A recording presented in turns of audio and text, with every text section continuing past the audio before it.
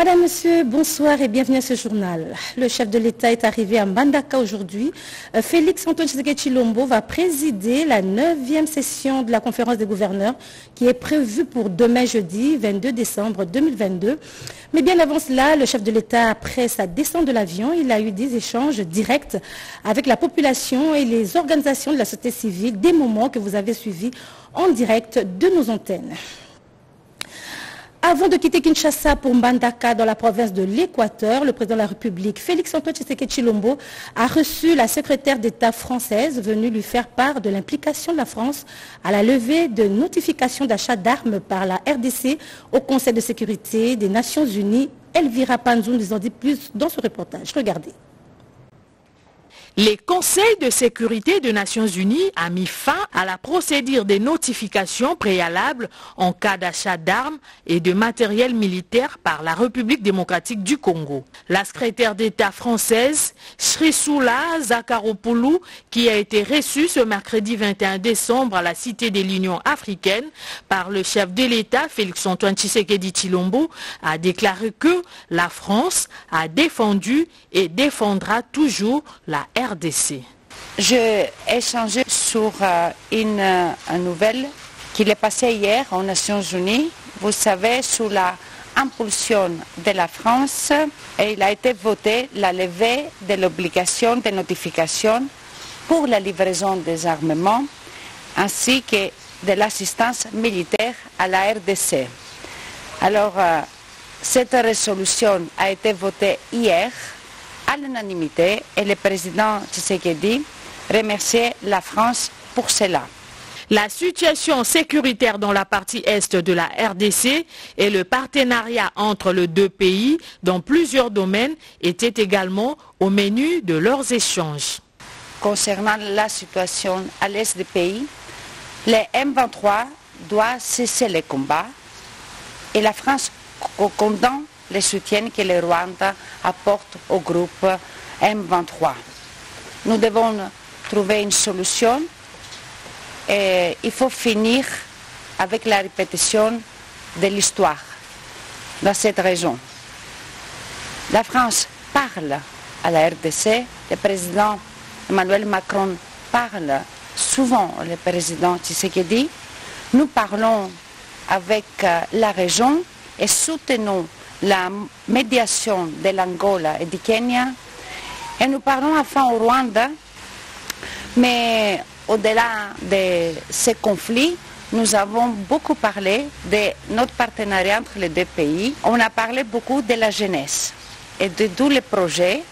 On a parlé de l'éducation, euh, on a parlé des artistes, tous les développements de l'industrie euh, culturelle et sportive à votre pays. Et vous savez que la France est, engagée et, elle a envie de renforcer ce partenariat. La France a la responsabilité de proposer des résolutions et déclarations relatives à la situation en République démocratique du Congo au Conseil de sécurité de l'ONU. La RDC et la France se nourrissent par ailleurs d'un lien privilégié fondé sur la francophonie. La levée des restrictions sur l'achat d'armes par le Conseil de sécurité des Nations Unies a été accueillie avec joie par l'élite de la République démocratique du Congo. Freddy Kita, ancien vice-ministre du Plan, salue la diplomatie payante du chef de l'État, Félix Antoine Tshisekedi Chilombo une très bonne nouvelle pour notre pays. Et là, on voit que la haute diplomatie euh, fonctionne. Parce que n'oubliez pas que depuis l'avènement de Félix euh, Antoine Tshisekedi à la tête de notre pays, il n'a cessé d'aménager aucun effort pour que d'abord la paix euh, soit retrouvée dans ce grand pays et d'annoncer publiquement du haut de toutes les tribunes du monde l'agression de notre pays par les forces étrangères. Et au jour d'aujourd'hui, depuis avant-hier, nous nous félicitons de cette levée donc, de l'embargo, de des armes. N'oubliez pas que nous avons subi injustement donc, euh, la mise sous tutelle de notre pays par les forces obscures. Et euh, nous avons sillonné le monde, nous avons fait un grand travail. Et, tous les Congolais ont participé. Et au jour d'aujourd'hui, ça a payé. Donc euh, il n'y aura plus jamais d'autorisation pour l'achat des armes. Parce que euh, c'était fait à dessein pour neutraliser notre pays, neutraliser nos voyants de, de, FARDC. Nous ayons des troupes sans armes. au jour d'aujourd'hui, nous félicitons le commandant suprême, nous félicitons l'ensemble de la classe politique, nous félicitons la haute diplomatie que nous avons tous menée pour que euh, notre pays puisse aujourd'hui euh, être libre de tout. la gloire revient à tous les citoyens congolais et puis personnellement au premier citoyen de la RDC, j'ai cité Félix Antoine Tshisekedi.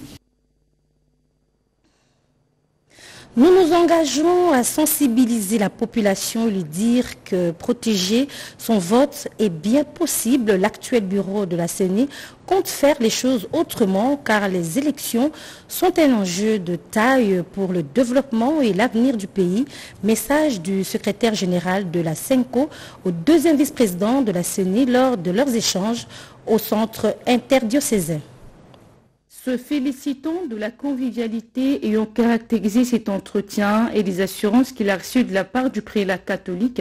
Le deuxième vice-président de la Commission électorale nationale indépendante, Didi Manaralinga, a indiqué que les échanges se sont focalisés non seulement sur la sensibilisation par l'Église catholique à l'opération d'identification et l'enrôlement des électeurs qui débute le samedi 24 décembre 2022 par l'ère opérationnelle 1, mais aussi sur le processus électoral dans son ensemble qui doit déboucher sur les élections générale en 2023. Nous sommes très heureux des échanges que nous venons d'avoir avec son Excellence Monseigneur qui vient de nous rassurer, encore une fois, que l'Église catholique est prête à nous accompagner comme toujours.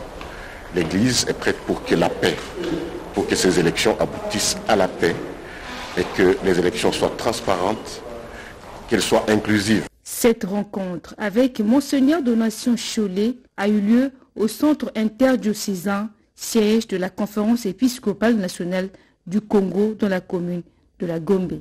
J'ai saisi cette occasion pour dire au peuple congolais qu'il euh, y a lieu de faire confiance au processus, il y a lieu d'aller aux élections et avec aussi des dispositions à défendre son vote, c'est possible. Le secrétaire général de la CENCO a saisi cette opportunité pour inviter le peuple souverain à faire confiance à l'actuel bureau de la CENI ayant pris en compte beaucoup de choses et se dit déterminé à aller aux élections. Et suivez à présent cet appel à la cessation des hostilités des groupes armés Kodeko et Zahir par les autorités de l'Itourie avec Junior Selimani. En Itourie, des réactions fusent de partout pour condamner les violences survenues ces derniers jours en territoire de Mahagi, des actes de nature à remettre en cause les actions menées par l'administration militaire pour pacifier cette région. La première réaction est celle de l'administrateur du territoire de Mahagi, le colonel Jacques Dissanoa, qui appelle les communautés du territoire de Mahagi à l'unité et à la cohabitation pacifique. Je vous prie de ne pas vous laisser piégés par la force du mal, mais de continuer à soutenir les forces de défense et de sécurité qui sont déterminées à pacifier notre territoire. Au vice-ministre des Affaires étrangères et notable de la région, Sami Adoubango, de plaider pour une campagne de sensibilisation en faveur de ces enfants égarés, afin que les hostilités cessent. Ce que nous devons demander à la communauté, plus particulièrement aux notables, les chefs coutumiers, les députés nationaux, de sensibiliser ces jeunes égarés qu'ils déposent leurs sales entreprises. Des dispositions sont déjà prises par l'administration militaire pour stabiliser et imposer la paix dans cette partie de l'Itourie afin de permettre à la population de passer en toute quiétude les festivités de fin d'année affirme le lieutenant Ngongo, porte-parole de FARDC à Nuturi. Nous rassurons à notre population leur sécurité et leur protection. Les forces armées sont à pied d'œuvre pour imposer la paix en traquant tous les réfracteurs du processus de Nairobi initié par le commandant suprême dont l'objectif ultime est la restauration de l'autorité de l'État. La situation sécuritaire qui prévaut à l'Est préoccupe tout Congolais. Les enfants des militaires et policiers soutiennent les efforts du chef de l'État pour le retour de la paix dans cette partie du territoire national. Anastasie nous en dit plus dans ce reportage. Regardez. Guerre dans l'Est ne prendra fin que si nous, Congolais, faisons confiance à Dieu. C'est le message de révélation de Mme Saïdi Moyouma Francine, présidente de l'Union des enfants des militaires et des policiers lancé à ses compatriotes congolais et au chef de l'État qui, après son investiture, a dédié le pays à Dieu à travers la repentance et l'action de grâce. Les souhaits des enfants de soldats est que la guerre finisse et que la RDC retrouve la paix durable dans sa partie Est. Ils sont de cœur avec leurs pères qui se battent avec véhémence contre les M23 appuyés par le Rwanda. Cette structure soutient la victoire des FRDC dans ces combats. Madame Saïdi a pris l'exemple de la Bible où Daniel et ses compagnons ont vu la main de Dieu agir. Cette main les a protégés contre les lions affamés et les a protégés dans la fournaise ardente. La communauté Niabi de la province du Kassai Chikapa a sensibilisé les membres et la population de la contrée à s'approprier le processus électoral et d'aller de se faire enrôler massivement et aux filles et fils de la province à répondre à la mobilisation nationale du président de la République.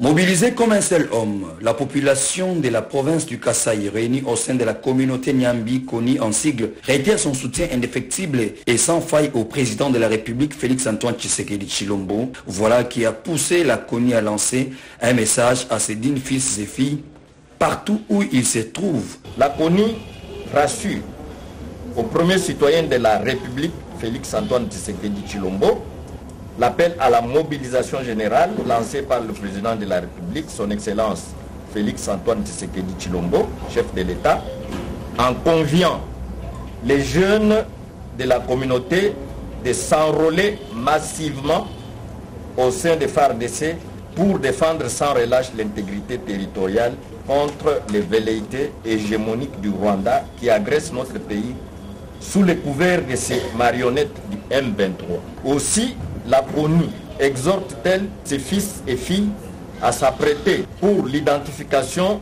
et l'enrôlement des électeurs dans l'ultime objectif du soutien renouvelé à l'élection de Fachi aux échéances de 2023.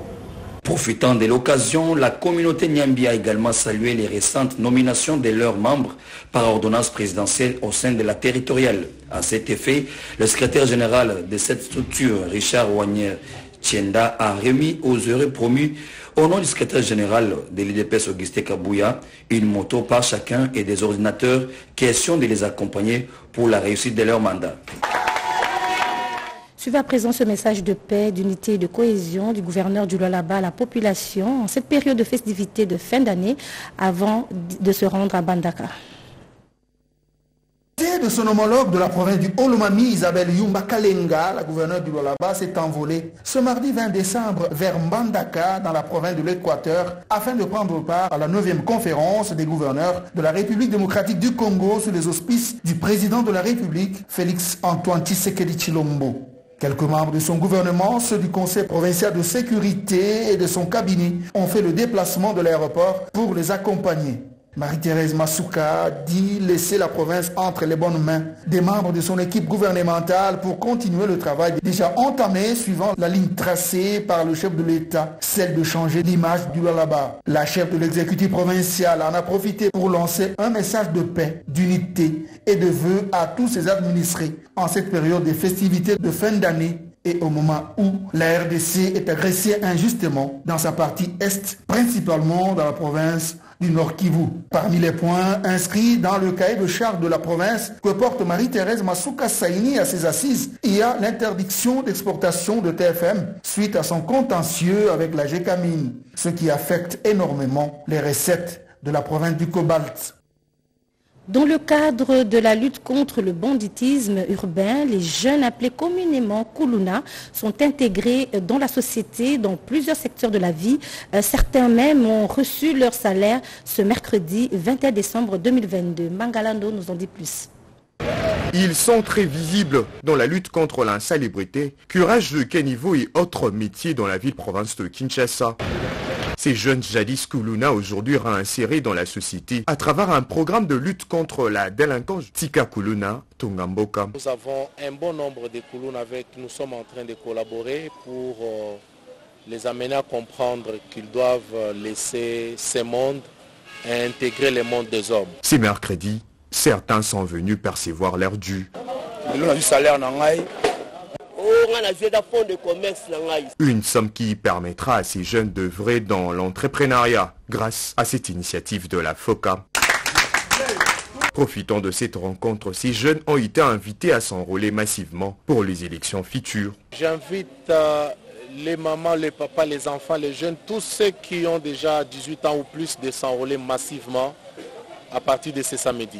Si nous avons besoin de donner une deuxième chance à notre chef de l'État Félix Tshisekedi, le rendez-vous est fixé pour ce samedi. Deux actions qui entrent dans la droite ligne de la vision du président Félix Tshisekedi dans son programme de lutte contre le banditisme urbain procès qui oppose l'association des professeurs de l'Université de Kinshasa à Poukine au professeur Antoine Kitombole euh, se poursuit. L'instruction de l'affaire et les plaidoiries ont eu lieu lundi 19 décembre 2022 et l'affaire a été prise en délibéré. Le verdict est pour le 29 décembre 2022. Junior et Angumba, Keren Kankolongo, Grace Maoso, reportage. Ce dossier en instruction au tribunal oppose l'association des professeurs de l'université de Kinshasa que dirige le professeur David Lubo au professeur Antoine Kitombole, poursuivi pour usurpation du pouvoir, et les professeurs Mathieu Bokolo pour détournement de 70 000 dollars. Les deux prévenus, Antoine Kitombole et Mathieu Bokolo, ont plaidé non coupables en évoquant la mauvaise qualification des infractions. Selon Maître Mpoy, conseiller d'Antoine Kitombole, L'usurpation des pouvoirs concerne les fonctionnaires de l'État. Or, ici, il est poursuivi dans le cadre d'une association privée. Situation similaire pour Mathieu Bokolo, qui ne reconnaît pas David Lubo comme président de l'association des professeurs de l'Université de Kinshasa pour plusieurs irrégularités. Nous espérons que le tribunal tirera la seule conclusion en la matière ici, c'est de reconnaître qu'il n'y a pas d'infraction et que l'infraction de usurpation de fonction publique ou de la qualité de fonctionnaire public n'existe tout simplement pas et qu'il va acquitter purement et simplement le professeur qui tombe les que voici.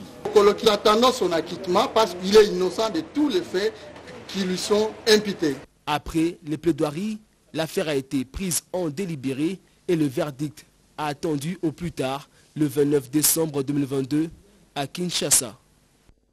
Un bâtiment sort de terre afin de mettre les étudiants de l'ISTA au Katanga euh, dans de bonnes conditions pour leur apprentissage et suivre aussi la remise de prix d'excellence au meilleur travail de fin de cycle, fin d'études et œuvre d'esprit mérite euh, du personnel administratif.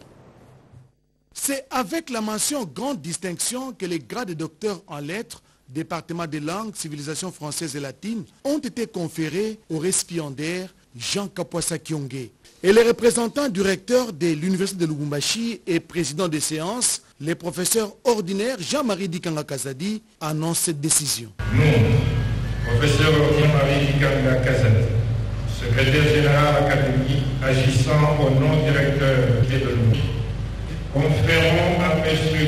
Sakiong Jean le grade de anglais civilisation française et latine. Nous lui remettons le présent diplôme et les insignes de l'université et déclarons qu'il a la jouissance de tous les droits et avantages attachés à ce grade. La socialité dans l'œuvre romanesque de Chibando Amolabujitu, sujet de la dissertation doctorale, présentée devant une assistance hétéroclite constituée des amis et connaissances, et des chercheurs. Les récipiendaires répartis des structures sociales, familles, religions et la société elle-même, caractérisées par un dysfonctionnement dû à l'injustice, au manque de considération pour l'autre et au tribalisme. Des vices qui ont rencontré l'œuvre romanesque de Chibanda Molabujitu et comme piste de solution proposée, écoulée en forme de conclusion au cours de cette défense doctorale, Jean Kyongé en appelle au bon sens des lecteurs, principalement des Congolais, pour l'émergence d'un Congo nouveau, un havre de paix où il fait beau vivre. Voilà, vous venez de suivre là une soutenance publique de la thèse de doctorat sur l'œuvre monaïque de Chibanda Wamuela Bujitu.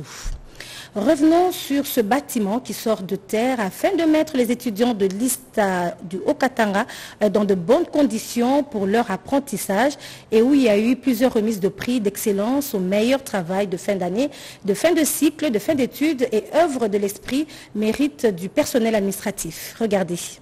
L'Institut supérieur des techniques appliquées de Lubumbashi met 111 ingénieurs issus des différentes filières sur le marché d'emploi. C'était à l'occasion de la double cérémonie d'écollation des grades et de la clôture de l'année académique 2021-2022 en présence des autorités politico-administratives, du corps professoral et des heureux lauréats à l'honneur. Une satisfaction d'avoir dispensé la totalité du programme et ce, dans les bonnes conditions, a dit le secrétaire général académique. L'Institut supérieur de techniques de Lubumbashi a fonctionné correctement sous l'impulsion des organes que voici.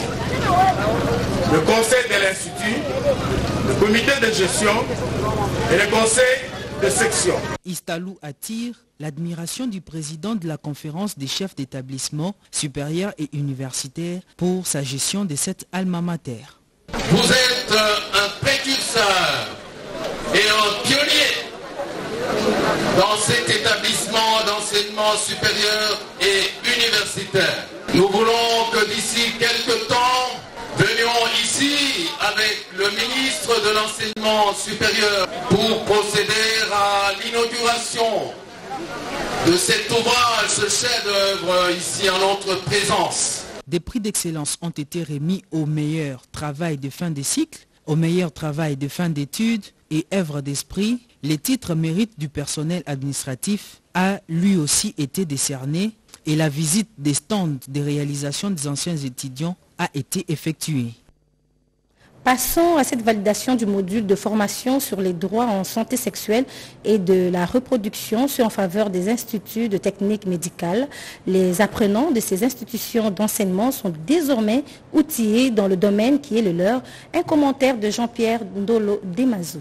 On a ouvert euh, cet atelier de validation du module de formation des apprenants des ITMIM sous les normes et directives de soins complètes centré sur la femme. Le document est validé presque à l'unanimité. Il s'agit du module de formation sur les droits en santé sexuelle et reproductive, y compris les normes et directives des soins complets d'avortement centrés sur la femme. Le module est destiné aux apprenants des instituts techniques médicaux et instituts d'enseignement médical. MSA RDC s'investit pleinement dans la promotion et la défense des droits sexuels et reproductifs des femmes et jeunes filles car il estime que chaque femme, chaque fille a le droit de décider librement de sa sexualité, d'avoir accès à une gamme complète de méthodes de planification familiale, y compris au service d'avortement sécurisé, dans les termes de l'article 14 alinéa 2C du protocole, sans contrainte ni discrimination.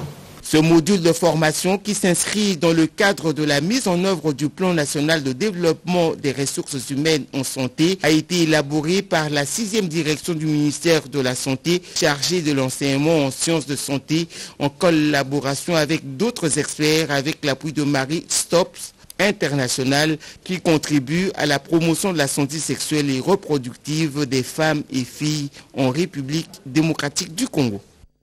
Et plus de 500 infirmiers viennent de normaliser leurs conditions professionnelles et intégrer le Conseil national de l'ordre des infirmiers euh, pour administrer des soins aux malades.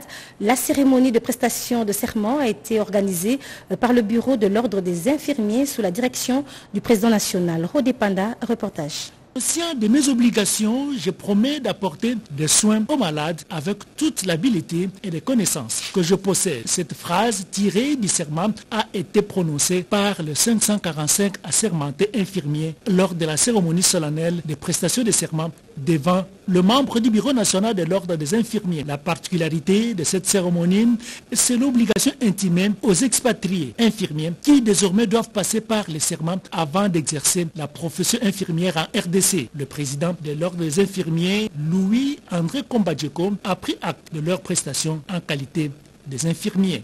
Bien avant, le président urbain de l'Ordre des infirmiers de Kinshasa, Colin Mayama, a rappelé à tous les récipiendaires la loi numéro 16, 15 du 15 juillet 2016 portant création, organisation et fonctionnement de l'Ordre des infirmiers en insistant sur quelques aspects tels que nul ne peut exercer la profession infirmière sans être inscrit au préalable au tableau de l'ordre. Autre temps fort de la cérémonie, c'est la présentation des partenaires de l'ordre venus des États-Unis d'Amérique et du Cameroun. On voit de nouveaux infirmiers lire leur serment, d'observer leur visage et de voir avec quelle passion ils ont choisi ce métier. C'était quelque chose d'important. Nous avons déjà l'ordre des infirmiers, c'est que nous mettons de l'ordre dans ce que nous faisons, de la discipline et nous sommes sur toute l'étendue de la République en train d'amener notre contribution pour l'amélioration de la santé de notre population. La cérémonie s'est clôturée par des cris de joie et des danses. Et puis, euh, pour une pratique plus responsable des sages-femmes en République démocratique du Congo, un mini-congrès a été organisé à leur intention. Objectif, réduire le nombre de décès maternels et néonatals. Autre détail avec Toto Sungupaka. Les soins des maternités respectueux et soins d'avortement sécurisés sont le droit de la femme. La Société congolaise des sages-femmes, en partenariat avec l'ONG internationale IPAS, ont organisé ce mardi 20 décembre 2022 un mini-congrès et assemblée générale sur la pratique sage-femme pour une RDC où chaque femme et fille a droit aux soins d'avortement sécurisés auprès d'une sage-femme compétente. L'ESCACEF, qui est le soin complet d'avortement centré sur la femme, a été choisi comme cette approche qui sera abordée pendant leur congrès. Cette organisation qui regroupe les sages-femmes a pour mission d'accompagner les femmes qui viennent accoucher à la maternité et de leur offrir les soins d'accouchement de qualité. Ces professionnels devraient s'asseoir un peu de réfléchir sur certaines questions professionnelles. La femme a droit de recourir à des soins d'avortement sécurisés qui lui permettraient d'améliorer sa santé et surtout de ne pas courir les risques au cas où il est recouru à un avortement non sécurisé. Les sages-femmes veulent mettre en place un syndicat, euh, leur ordre et puis euh, leur euh, association. Elle a mis aussi en place une formation appelée SCAF qui est le soin complet d'avortement centré sur la femme.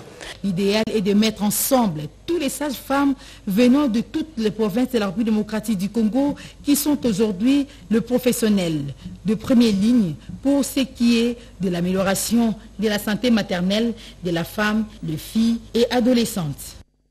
Suivez à présent ce forum tenu dans la province de Sud Kivu euh, sur le projet Maïndeleo deux médias trimestriels sur les avancées du projet intégré des croissances agricoles dans les Grands Lacs Picagel en sigle a été animé ce mardi 20 décembre par Bob Kataï, chargé de communication sous la modération d'Itaïs Bagoula, directeur de la radio Maïndeleo. Il ressort de ce forum qui a réuni des journalistes que les derniers trimestres de l'année 2022 a été marqué par l'intensification des travaux de construction des différentes infrastructures, routes de dessert agricoles, mini laiteries, laboratoires, provanderies, centres communautaires de transformation des maniocs, CCTMA, usine Aflasaf.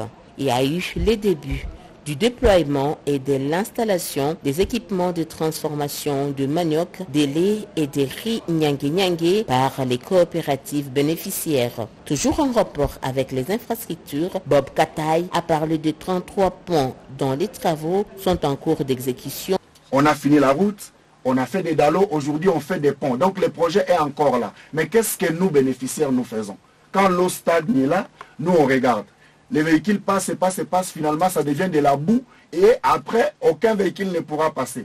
À travers la radio Maïndeleo émettant de Bukavu, les bénéficiaires ont été informés de l'état d'avancement des activités du projet Picagel dans les différents territoires, a précisé Bob Kataï que je vous propose de suivre. Donc nous devons sensibiliser vraiment nos, nos, frères, nos sœurs pour que tous ensemble nous puissions mettre la main à la pâte et ne pas perdre très vite tout ce que le projet fait car évaluer l'action humanitaire menée et les réalisations selon les prévisions budgétaires afin d'élaborer les perspectives pour l'année 2023 par la Croix-Rouge RDC, l'objectif de l'Assemblée générale ordinaire présidée par son président national, Grégoire Matesso. Images et commentaires.